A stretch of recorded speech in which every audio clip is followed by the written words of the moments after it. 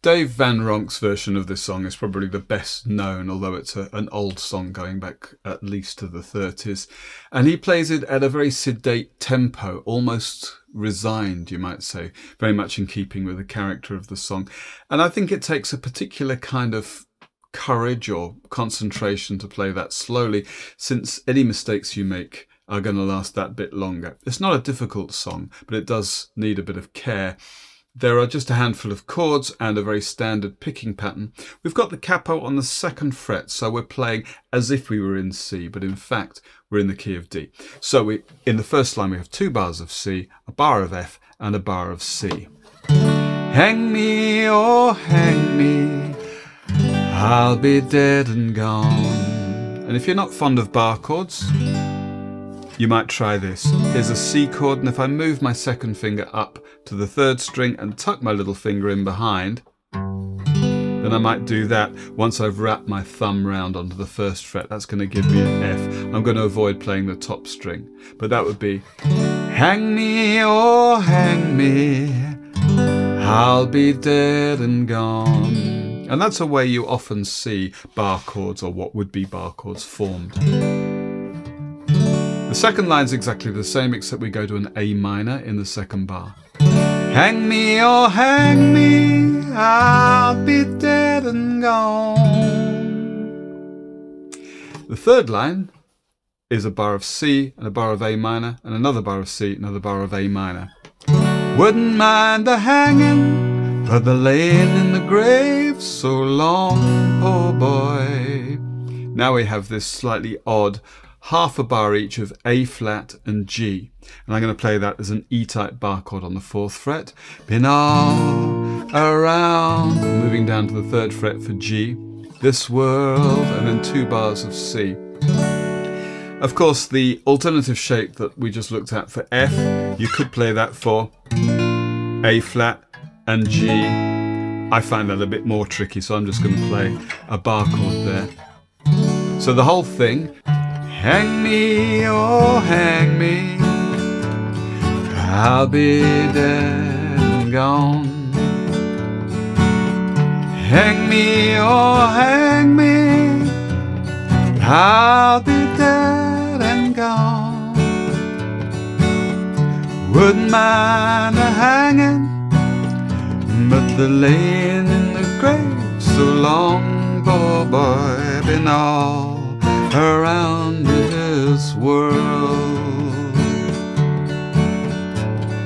And if you notice on the C and A minor chords, I'm alternating the bass from the fifth string down to the sixth string. In the case of the C chord, I need to then move my third finger from the third fret of the fifth string to the third fret of the sixth string.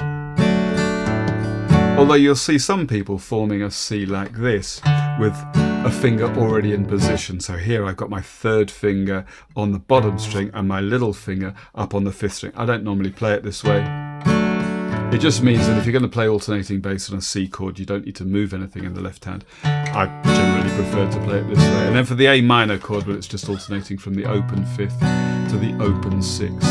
When we look at the finger picking pattern, we'll see how that alternating bass comes into good use.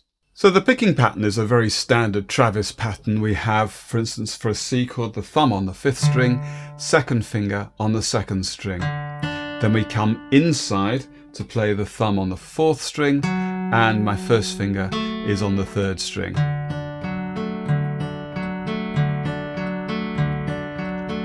Hang me, oh hang me F chord, I'm going to move it down here.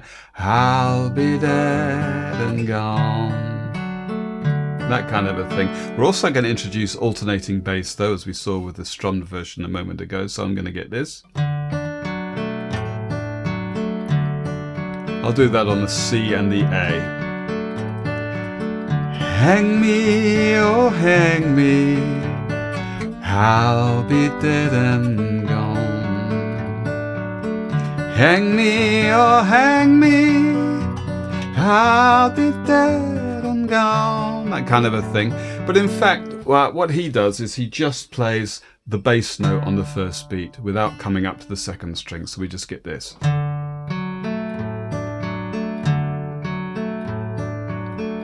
Hang me, oh hang me, I'll be dead and gone. And the first time he plays, he actually plays a note on the top string as well. So, note for note, we get this. Hang me, oh hang me, I'll be dead and gone. Hang me, oh hang me, I'll be dead and gone. Wouldn't mind the hanging, at the laying in the grave so long, poor boy. Now, when we get to the A flat and G, he does this. All. Plays just the bass note and then picks the fourth, third, and second strings together. I'm using my three fingers. You could use your thumb and the first two fingers. All. And then around us. Just our standard pattern. World. From the top then and all around Cape Girardeau and parts of Arkansas. All around Cape and parts of Arkansas. Got so goddamn hungry I could hide behind a straw boy, boy. I've been all around this world. When up on the mountain, there I made my stand. When up on the mountain, there I made my stand. Rifle on my shoulder, dagger in my hand. Poor boy, I've been all around this world. Hang me, oh hang me, I'll be dead and gone. Hang me, oh hang me, I'll be dead and gone. Wouldn't mind the hanging, but the laying in the grave so long, poor boy, been all around this world.